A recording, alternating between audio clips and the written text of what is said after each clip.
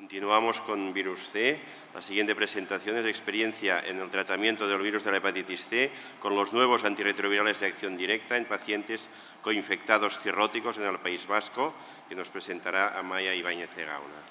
Bueno, pues yo voy a intentar resumiros un poco la experiencia que estamos teniendo en el tratamiento de los pacientes con infección crónica por virus C con los nuevos antivirales de acción directa en pacientes coinfectados VIH virus C y cirróticos en diferentes centros del País Vasco.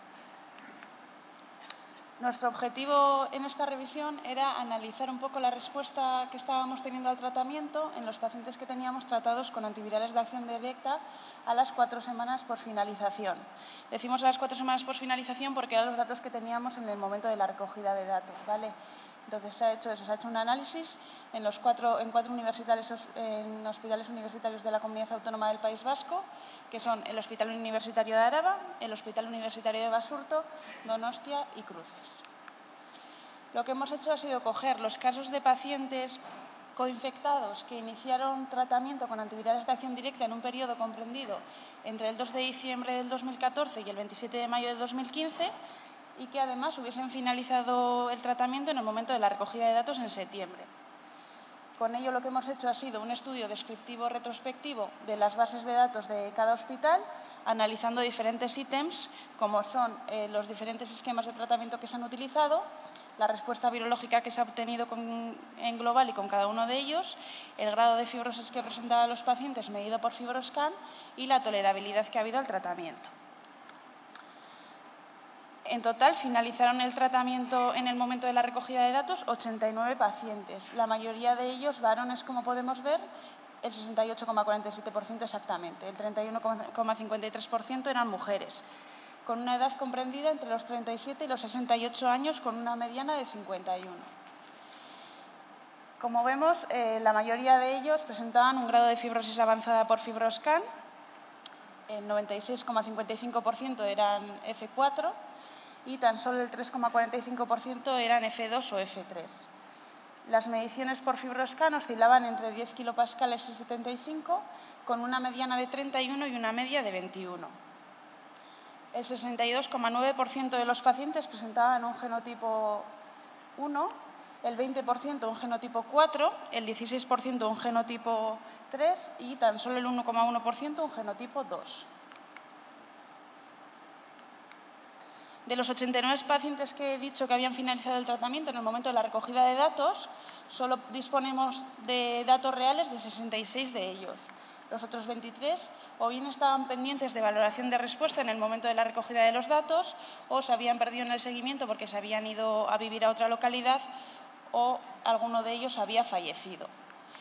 En los 66 de los que disponemos datos hemos obtenido una tasa global de respuesta viral a las cuatro semanas por finalización en el del 86,36%.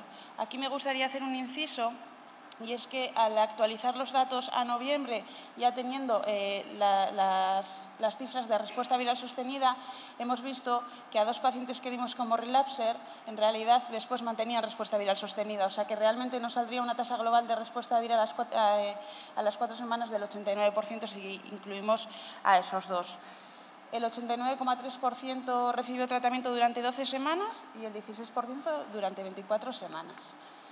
Los esquemas de tratamiento utilizados fueron los siguientes. 49 pacientes se trataron con sofosbuvir simeprevir más ribavirina, el, nueve pacientes se trataron con sofosbuvir interferón ribavirina, seis pacientes con daclatasvir sofosbuvir ribavirina y luego un paciente con paritaprevir vitasvir dasabuvir y otro paciente con simeprevir daclatasvir ribavirina. Si analizamos las respuestas al tratamiento que hemos tenido en función del esquema de tratamiento utilizado, de los pacientes que fueron tratados con sofosbuvir simeprevir más menos ribavirina, eh, tenemos una, mantienen respuesta viral a las cuatro semanas por finalización el 83,67%. Aquí también hacer el inciso que estos pacientes que tenemos aquí, eh, los dos pacientes que habíamos dado como relapser, que al final tenían respuesta viral sostenida, eran de este grupo, entonces también nos daría un poquito más alta, en torno al 88%. Los pacientes que tratamos con sofosbuvir interferón ribavirina, el 88% de ellos eh, tenían un RNA negativo a las cuatro semanas por finalización el paciente que habíamos tratado con paritaprevir o vitasvir dasabuvir también eh, mantenía respuesta viral a las cuatro semanas por finalización. Los pacientes que, tratamos con daclatasvir, sofosbuvir ribavirina, el 83,33% mantenían respuesta viral a las cuatro semanas por finalización y el único paciente que tratamos con simepredofil daclatasvir ribavirina no respondió, por lo tanto no sale ahí pues, bueno, una incidencia del 0%. En cuanto a la tolerabilidad, eh, decir que en general los pacientes que hemos tratado con antivirales de acción directa han presentado una buena tolerancia al tratamiento. Únicamente ha habido que suspender el tratamiento por toxicidad en un paciente y en otro paciente eh, se le diagnosticó durante el tratamiento de una neoplasia diseminada, acabó falleciendo y por lo tanto pues, bueno, se suspendió el tratamiento lógicamente. El 16,6% de los pacientes precisó descenso de dosis de ribavirina por anemia. Con todo esto, ¿qué podemos concluir? Pues bueno, que hemos obtenido una alta tasa de respuesta viral a las cuatro semanas por finalización en nuestra serie de pacientes cirróticos y coinfectados, que la tolerabilidad en general ha sido muy buena, con muy pocas retiradas por toxicidad y que, como podemos ver, pues las nuevas pautas de tratamiento representan un avance terapéutico significativo en el tratamiento de pacientes coinfectados. Para terminar, me gustaría agradecer al, resto de centros hospitalarios que nos han ayudado un poco a hacer esta revisión. Yo soy residente del Hospital Universitario de Arraba, pero como he dicho antes, también han colaborado el Hospital de Basurto, de Cruces y de Donostia. Y me gustaría agradecerles también su colaboración.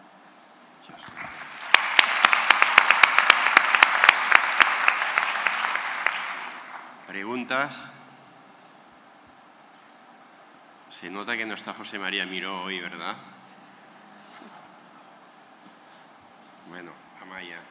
Eh, bueno, yo creo que mm, en los diferentes centros pues vamos intentando tratar todos los pacientes que podemos y la dinámica de diferentes centros es muy diferente. Entonces, eh, eh, en el País Vasco, ¿cómo estáis de posibilidades de tratamiento? ¿Es muy fácil tratar a los pacientes o, hay, es muy pues restrictivo en cuanto a tratamiento? De momento, hecho lo que marcó era que había que tratar a los pacientes F4 y luego eh, con, alguna, con algún ítem específico también nos dejaban tratar a pacientes que tuviesen menos, menos grado de fibrosis. Pero la realidad es que la mayoría son cirróticos porque lo que estamos tratando son la mayoría cirróticos. Y una vez tratados los que tengan F4, pues ya iremos tratando el resto con un grado de fibrosis menor. Hola Maya. Hola. Eh, el 16% de los pacientes, todos iban con ribavirina, entiendo, ¿no? O sea, mayoritariamente eran soft sin riba o PEG, eh, PEG riba soft. Eso es. 16. Cuéntame, eh, ¿qué dosis utilizabais? ¿Cuál ha sido un poquito la aproximación en, pacientes cirróticos, el uso de ribavirina?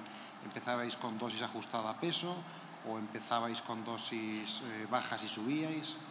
Pues, a ver, un poco, eh, como he dicho, al final los datos eran de los 400 hospitalarios, entonces de todos no tengo los datos exactos de, un poco, pero bueno, lo que solemos empezar es ajustado a peso efectivamente y luego ya en función de, pues eso, en este caso la mayoría de los descensos han tenido que ser por anemia, un poco dependiendo del grado de anemia y de la tolerancia que tuviese ese paciente a la anemia en función de las comorbilidades. Muy bien, gracias. No has presentado datos del tratamiento antirretroviral. ¿No lo tenéis recogido? Pues en nuestro centro sí que lo tenía recogido, pero no de todos. Entonces no lo pude, no pude hacer a ver los ajustes que, había, que, eh, habíamos tenido que hacer. En, general, ¿habéis tenido que modificar muchas pautas de tratamiento antirretroviral? Por lo que yo puedo hablar del nuestro, sí ha habido que modificar algunas. Sí. Habéis usado mucho, mucho sofosime, ¿no? O sea que entiendo que probablemente haya. Claro, es que en el momento de la recogida de datos, o sea, de, realmente en el periodo en el que hemos recogido ese era el tratamiento que más estaba utilizando. Ahora ya, si recogiésemos más adelante, probablemente el 3D era lo que, lo que hubiese sido lo mayoritario. Muchas gracias.